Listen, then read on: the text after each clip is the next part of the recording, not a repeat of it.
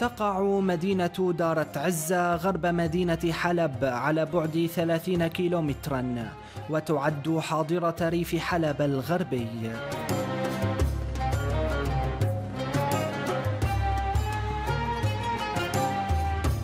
وتمتاز بجبل الشيخ بركات الذي يحتضن بسفحه بيوت ومزارع المدينة التي تقسم إلى أربع حارات قبلية وشرقية. وغربية وشمالية.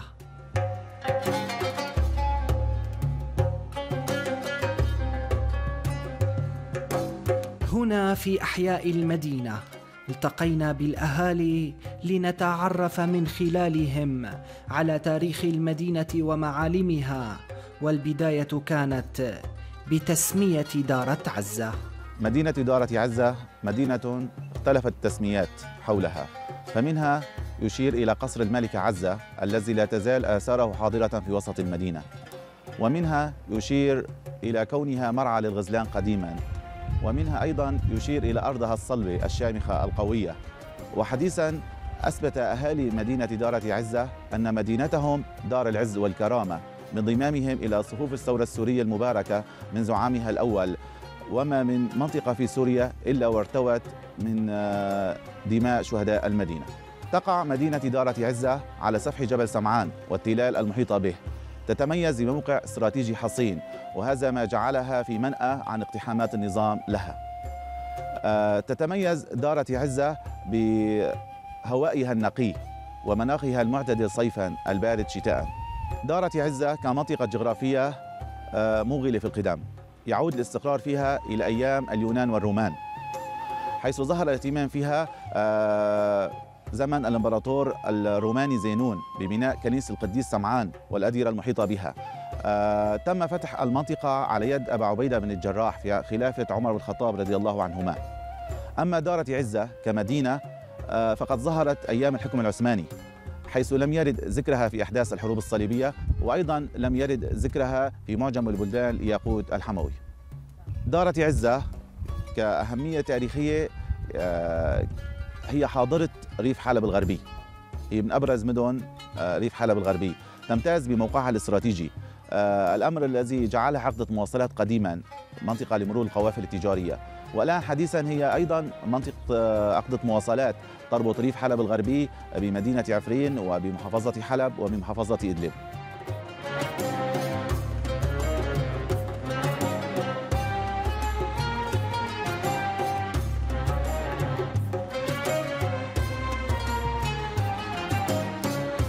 خلفت العصور التي مرت على منطقة دارة عزة الكثير من المعالم حول المدينة.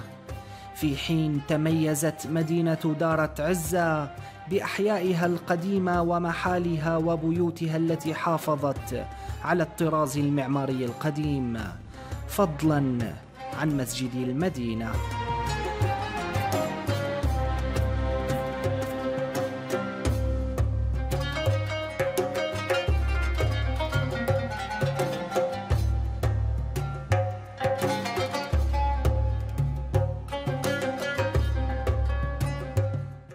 أشهر المعالم العمرانية بالمدينة قصر عزة الذي يعود آه، إلى أيام الحكم الروماني في وسط المدينة.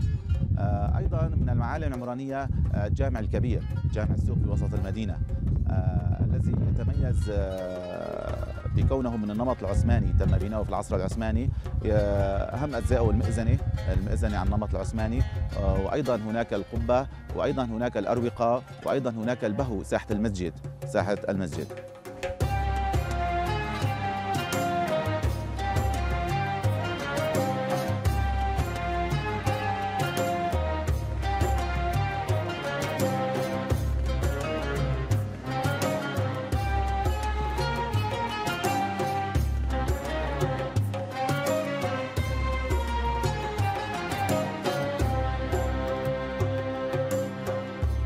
على بعد أربعة كيلومترات من المدينة تتربع كنيسة القديس سمعان العامودي التي تحولت مع الزمن لقلعة تعرف الآن بقلعة سمعان الأثرية التي ميزت منطقة دارة عزة وأكسبتها أهمية سياحية وتاريخية كبيرة.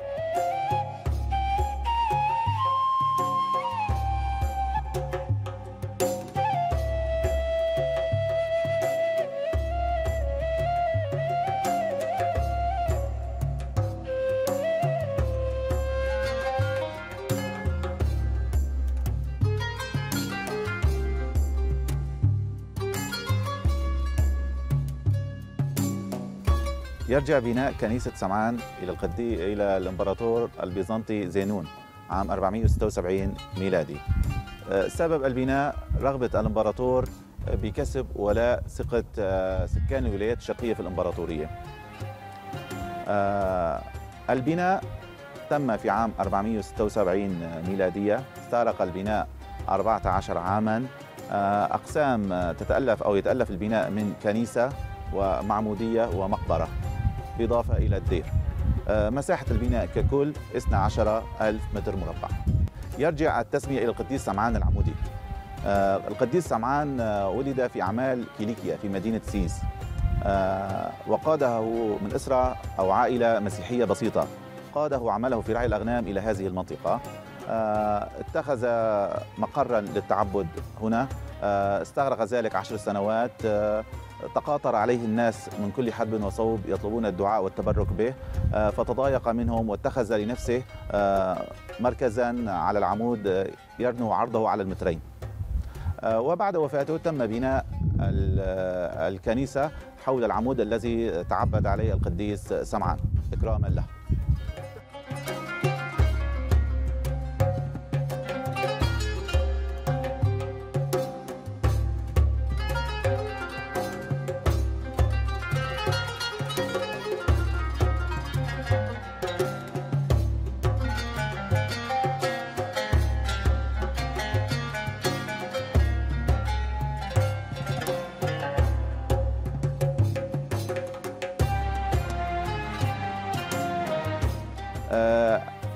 يتميز البناء بأنه ذو شكل صليب.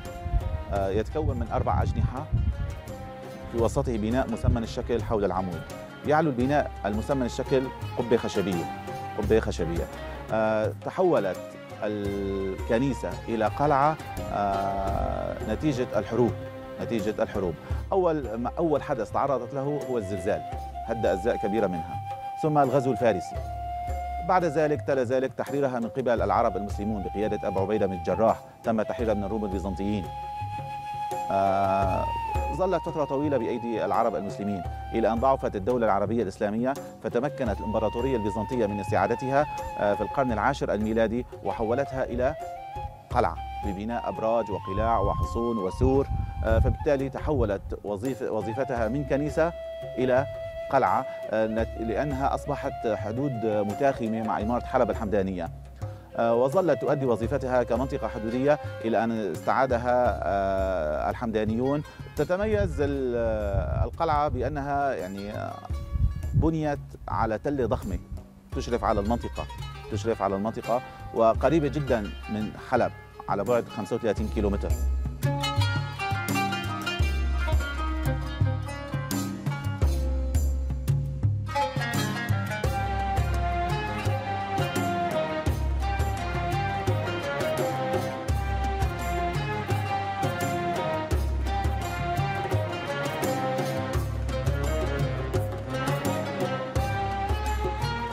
تنتشر على الطريق الواصل بين قلعة سمعان ومدينة دارة عزة آثار ومعالم قديمة. لعل أبرزها منطقة الطامورة الغنية بالمغارات والنقوش الأثرية.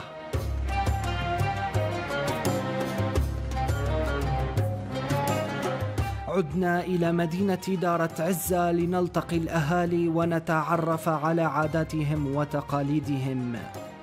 وتجتمع عادات الاهالي هنا على الحب والوفاء وإكرام الضيف.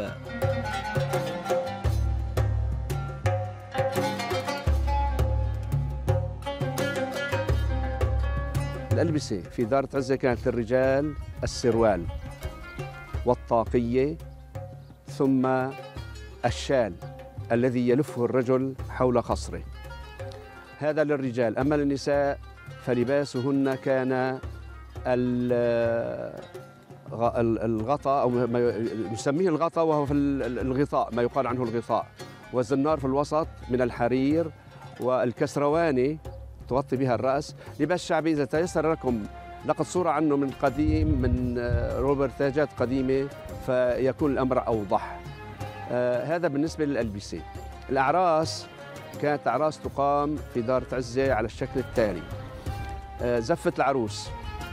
العروس كانت تزف على فرس أمامها رتل الرجال وخلفها رتل من النساء تزغرد النساء والرجال آه، يقدمن الأغاني والعديات سموها عدية مال الورد على التفاح وسوى ذلك من هذه العديات.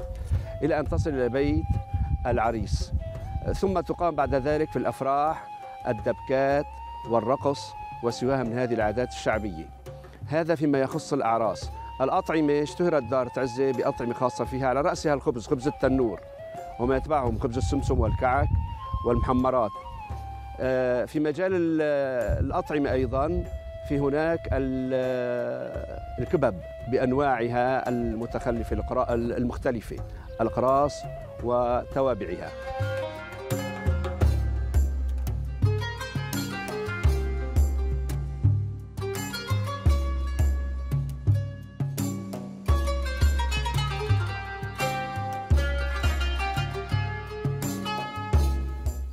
العلاقات الاجتماعية ما تزال وطيدة في السابق كانت أكثر خاصة بالأسر الأقرباء والجيرة وأولاد العم وعلى هذا الغرار.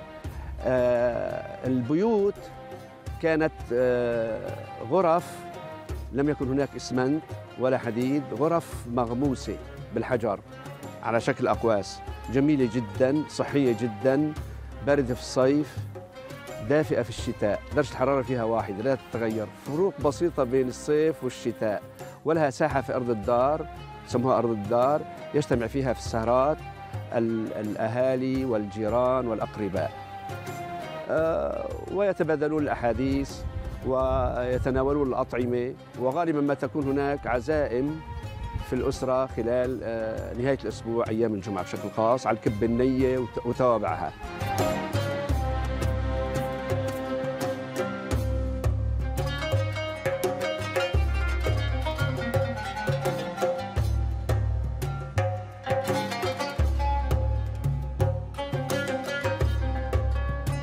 حافظ أبناء المدينة على الكثير من عاداتهم وتقاليدهم وتخلوا عن بعضها.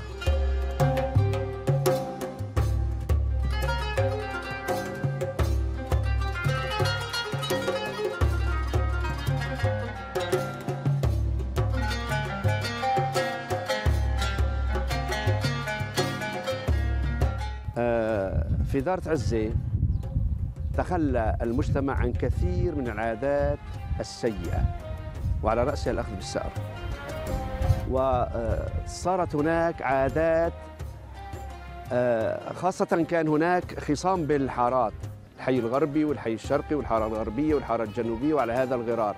هذه انتهت الحمد لله من المجتمع المجتمع كله متكاتف كتلة واحدة لا مشكلات فيه إلا ما ندر وتحل مهما كانت هذه المشكلة.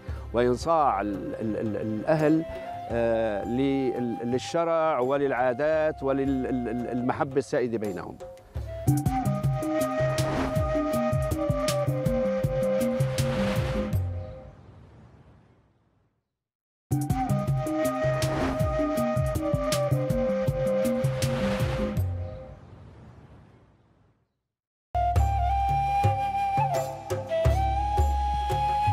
تنتشر في محيط المدينة أراضي الزيتون وبعض الأراضي الزراعية حيث أثرت الطبيعة الجبلية الصخرية على عدم اعتماد الأهالي على الزراعة كمصدر رزق أساسي.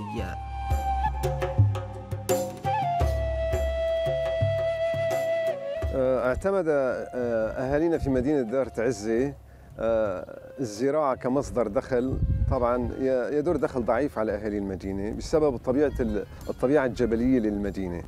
فالأراضي الزراعية آه، مساحتها قليلة جدا في دار عزة أهم الزراعات اللي اعتمد الأهالي هي شجر زراعة الزيتون.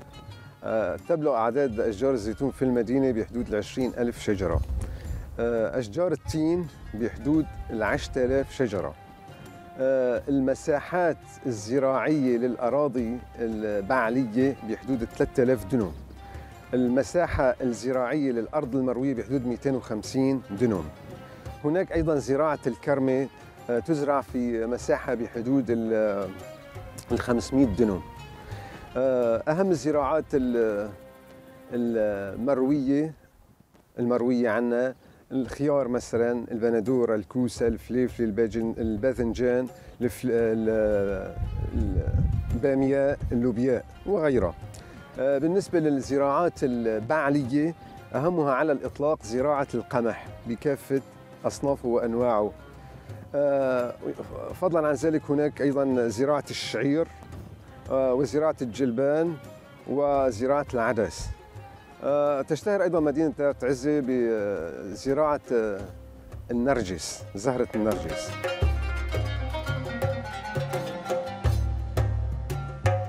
يعتمد أهالي مدينة دارة عزة على تربية المواشي والدواجن وتنتشر مزارع تربيتها على طول المدينة. كما يتم تربية الأبقار لإنتاج الحليب والألبان والأجبان. أهم مصادر الثروة الحيوانية عندنا آه، الأبقار. عدد رؤوس الأبقار في مدينة دار تعزي بحدود ال 2500 رأس بقر. آه، عدد المربين لهم آه، بحدود ال 850 مربي. بالنسبة للأغنام يوجد في مدينة دار تعزي بحدود ال 17000 رأس. عدد المربين بحدود ال 600 الماعز يوجد بحدود ال 1500 رأس. عدد المربين بحدود المائة تشتهر جدا مدينة دار تعزي بالمداجن. وتشكل مصدر دخل ممتاز لأهالي المدينة. آه، عدد المداجن آه، يربو على ال 120 مدجنة تقريبا في المدينة وفي ريفة.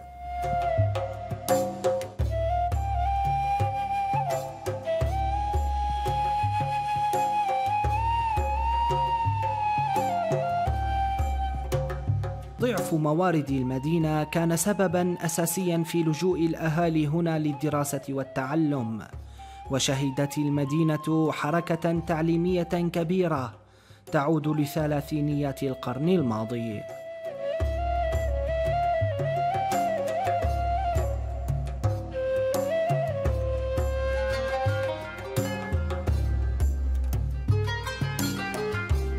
بالنسبة طبعا الطبيعة الجبلية وضعف موارد الدخل لأهالي مدينة دار عزة.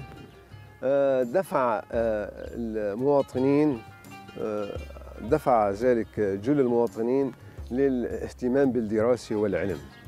فمدينة دار عزة تعج بالحركة العلمية وبالمدارس والتعليم منذ الثلاثينات. يعود الفضل لأسرة مشهورة في مدينة دار عزة هي بيت شهيد.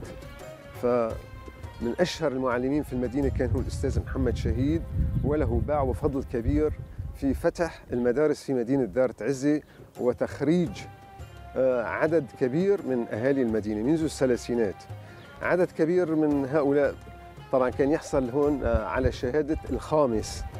بعد ما يحمل شهادة الخامس كان يتابع تعليمه الإعدادي والثانوي والجامعي في مدينة حلب.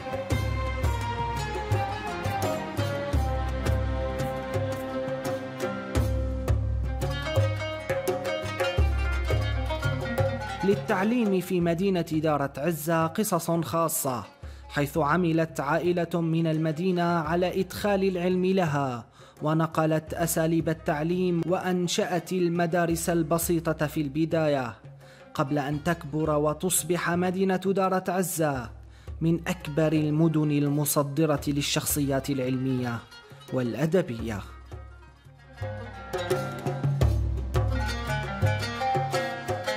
فإذا كانت الغابة هي ملجأ النمر فإن العلم هو ملجأ ودارة عزة. فبه سمت وارتقت وعزت. وبه بنت نهضتها وتمدنها واستطاعت بالحفاظ على هذا العلم أن ترتقي أيضا بأخلاقها وتمدنها. وساعدها على ذلك قربها من مدينة حلب والعلاقات الاقتصادية المتعددة وسهولة التواصل وأيضا قلة الأراضي الزراعية مما شجع أولياء الأولاد والتمور الاهتمام بالعلم. وخاصة أن مدينة عزة كان فيها عائلة علم مشهورة عائلة الشهيد. ومن هذه العائلة نبذ نبغ العلماء في مختلف الاختصاصات. ويعتبر الدكتور عبد الله واسق الشهيد هو المؤسس للبحوث العلمية في مدي في سوريا. وكثير من إخوته كانوا في اختصاصات متعددة في الاقتصاد والحقوق والتعليم والتربية. فيحكى ان يحكي لنا آباؤنا أن الأستاذ الأول هو محمد فائق شهيد كان يهتم بالتعليم جدا ويأتي إلى أولياء الأمور ويحضهم لإرسال أولادهم إلى المدارس رغم أن ظروفهم كانت قاسية فكانوا لا يجدون ما يكتبون عليه فيأخذون ورق الإسمنت أكياس الإسمنت ويكتبون عليها بقلم الرصاص ثم يمحونها ويكتبون عده مرات ويقبل ذلك منهم. وقد استطاعت هذه السلة القديمة أن تؤسس وتبني بعدها أجيال متعددة راقية في طلب العلم وفي مختلف اختصاصاته مما الآن تعتبر دارة عزة هي مصدر المصدر مختلف اختصاصات في العلم في الهندسة والطب والزراعة والصيدلة وللمنطقه ولحتى مدينة حلب. العلم نبدأ نحن اهتمام العلم منذ الطفولة حتى منذ الزواج عندما يريد الشاب أن يتزوج يبحث عن المرأة المثقفة المتعلمة لأن هي التي تربي أولاده ولها علامات الأولى في اختيار الزوجة ومن ثم عندما يرزق الأطفال منذ الطفولة تنشأ الآن هناك روضات تعليم تقوم بتعليم الأطفال وتربيتهم وأعدادهم للحياة ليدخلوا المدرسة الابتدائية.